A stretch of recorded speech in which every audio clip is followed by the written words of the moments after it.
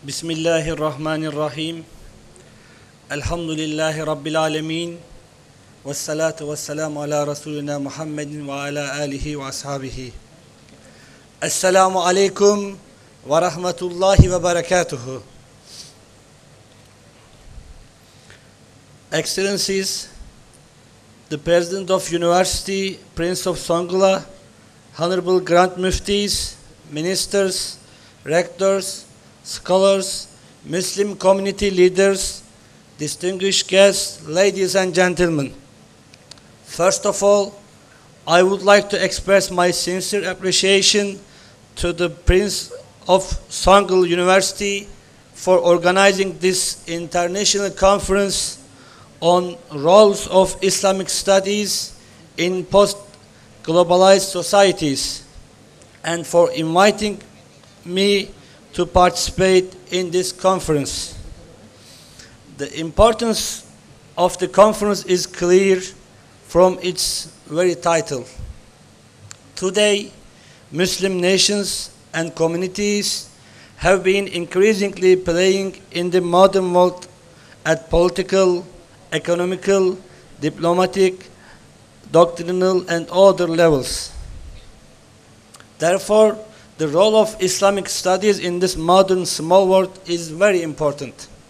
The way our youth is shaped and educated by adopting the latest modern methodologies and techniques.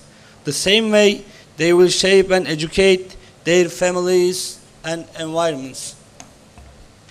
Once Marshall McLuhan has said that world is a global village and today we are living in this kind of small village where people can easily access to every kind of information, news and data with one click, with one single button. People can hear, see and watch what's happening in a small village or a country in the middle of Africa or Asia from thousands of kilometers away at the same moment when the incident is happening. So today the actions, moments, success and contribution of our youth and students are very important because everyone can see and watch what's happening in our world with its positive and negative results. If our youth can practically contribute and bring peace and prosperity to their society, they can also influence other societies at the same time. In this global village today, people copy each other with icons and examples, and once a new system, idea, or technology is presented and used in one society, other societies and nations can also use and benefit from it.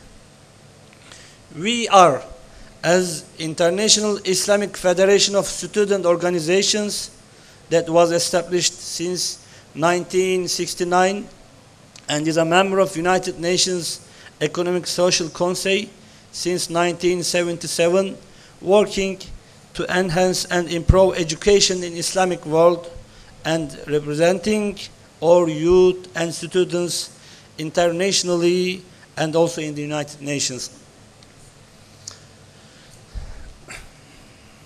Dear distinguished guests, Islamic education means that education is based on modernization and the latest studies with Islamic values and background.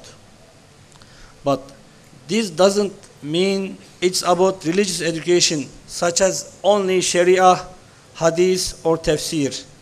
Of course, these sciences are also have very important role in our lives and societies, and they need to be studied by specialists. But today, Muslims need all kind of sciences to be successful and prosperous in life.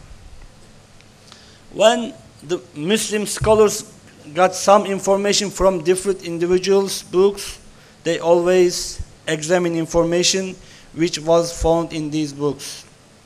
When Muslim scholars got science and knowledge from Egyptians, Greeks, and Indians, Indians they owned high level of information.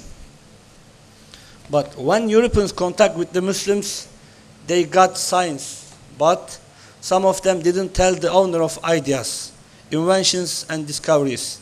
They read Muslims' books, but they didn't explain the authors' names.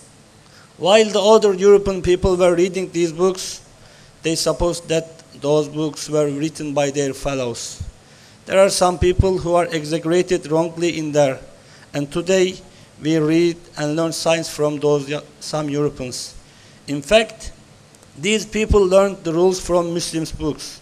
You can wonder whether these statements are true or not. To sum up, Muslims were aware of the owner of the science when they got it. In addition to this, they checked and developed all science. Let me say that Muslims set up the science like physics, geography, history, geometry, and so on. I would like to give you as an example from Ottoman Empire. After the capturing the Istanbul from Byzantium Romans in 15th century, the Turks started and developed to teach every kind of science like mathematics, geography, astronomy, philosophy, etc. with Islamic science in their madrasa. And they were growing rapidly and becoming more powerful in their religion. And in the end of the 16th century, in the era of Kanuni Sultan Suleiman, Ottoman Empire has lived its golden age. We know that Muslims were leaders in innovations and science in the past, and they have contributed to the world. And currently, Muslims have the capability to do so and achieve more and more as innovators, entrepreneurs, experts, and contributors. But to raise such Muslim people we need to have and arrange a healthy environment. Muslims are the humans who are appointed to establish goodness and justice and stop the conflicts and exploitation on the earth. They spread the good and beautiful in moral and prepare the ground for sharing the true knowledge in science. They endeavor for the production of the useful goods and services through efficient use of world resources and for the just sharing of them. In all states of social life, the Muslims they work for the just sharing of the bounty and burden because they follow the true path of the messengers of Allah Almighty. They work for the establishment of the justice on the earth and sustain the peace. Dear guests and ladies and gentlemen, peace and felicity can just be provided through morality but not materialism.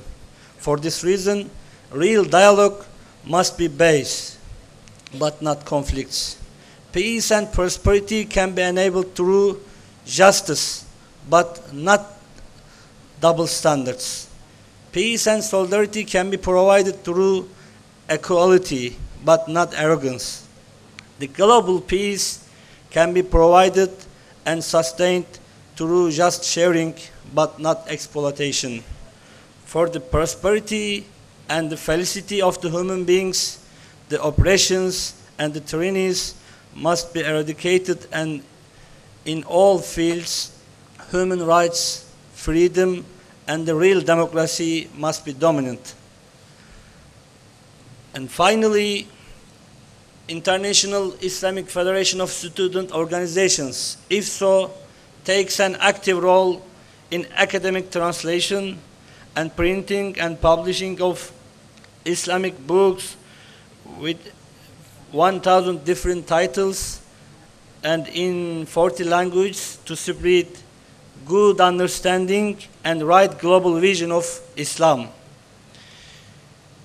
We, as IFSO, are trying to coordinate with the others like universities and organizations to develop the future of youth and students in learning connection more than 100 organizations in 60 different countries.